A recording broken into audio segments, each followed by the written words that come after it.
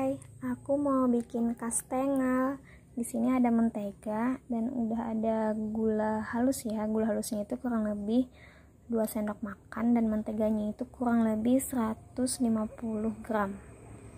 Ini kejunya yang udah kuparut. Dan ini tepungnya, itu tepungnya sudah campur sama susu bubuk ya.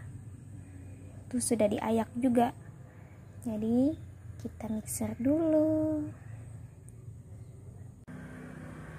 Oh ya jangan lupa kuding telurnya satu biji ya. Setelah lembut seperti ini kita masukin tepung terigu ya dengan gula halus. Ini udah aku masukin tepung terigunya ya yang sudah dicampur dengan susu tadi.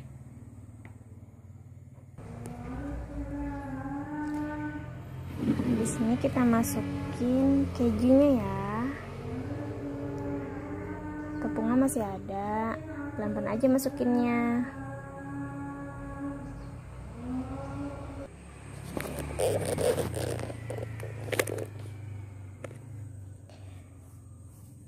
Ini sudah tercampur rata ya semuanya ini. Udah bisa dicetak. Saatnya kita mencetak. Ini sudah aku ratain ya. Tanganku pun dengan tepung. Setelah itu kita potong. Aku menggunakan ini aja ya.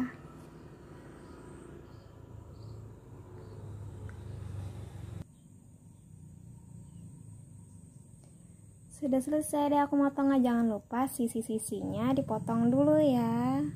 Baru deh diratain. Sudah aku pindahin ya ke sini. Lakukan sampai selesai ya adonannya. Saatnya kita menggiling lagi. Oke, sudah selesai ya. Habis ini kita olesin dengan kuning telur dan keju di atasnya. Kita aduk dulu ya.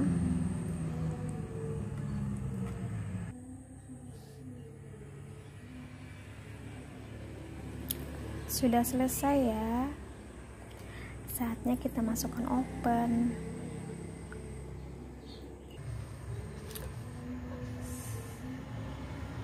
Kurang lebih 150 derajat ya opennya.